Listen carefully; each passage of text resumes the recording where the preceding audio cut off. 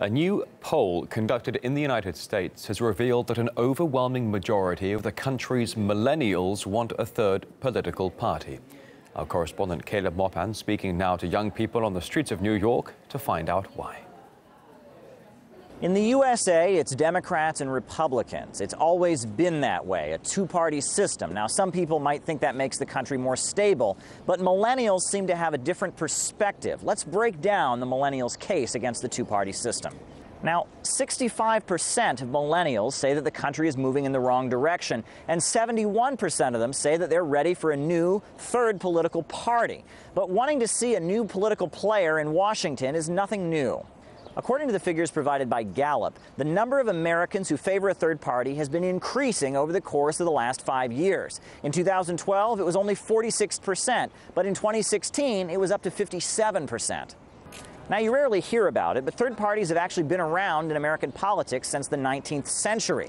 Now, why is it that in all these years, an independent political faction has never been able to take the White House? Well, maybe it has something to do with the fact that mainstream media is working overtime to keep people marching behind the elephant and the donkey. I even understand the argument that a third party candidate can put a new issue or a new solution on the table, but it is hard to make the case that that is what's happening here. And to put it on a third party candidate who we now know that that both of the third party candidates out there are very much not qualified either through experience or through knowledge. Now, amid the growing disillusionment with the two major parties, let's see if Americans would really prefer a third option. Do you feel that the establishment parties represent your values? I feel that they are too aligned in like different things, so I feel very independent right now of any uh, support for any party.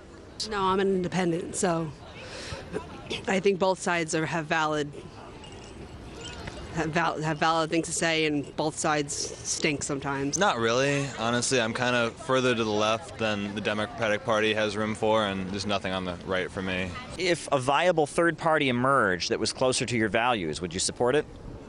Yeah, I would. That makes sense. But I know it's very hard for those type of parties to get out there. Yeah, I would definitely consider voting for a third party that represented my values.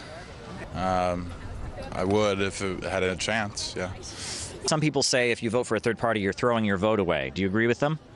Uh, unfortunately, the system has been rigged as such that it ends up being a wasted vote. Uh, like it shouldn't be, and I think that's wrong. I do. Yeah, I think the way it's structured right now, um, but albeit you know local elections being one exception, I think uh, you are kind of throwing your vote away. No, I wouldn't say that, but I can see why some people see it that way, especially when uh, people say like I don't know, like Bernie Sanders losing, uh, Bernie Sanders running is why Hillary Clinton lost or something like that.